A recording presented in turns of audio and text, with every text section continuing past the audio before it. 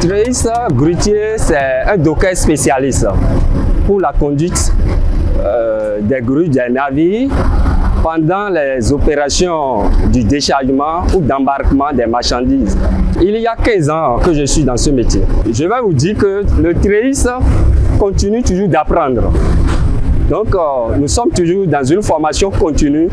Chaque fois qu'un navire s'accoste, ce navire-là vient avec cette difficulté. Dans une journée, nous avons trois vacations. Dans une vacation, il faut 8 heures de temps.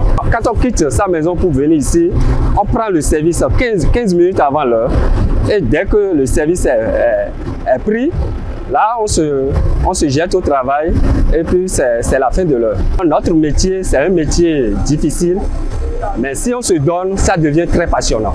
Un jour, en pleine opération, toute la grue s'est descendue. Mais Dieu merci, il n'y a pas de perte de vie humaine.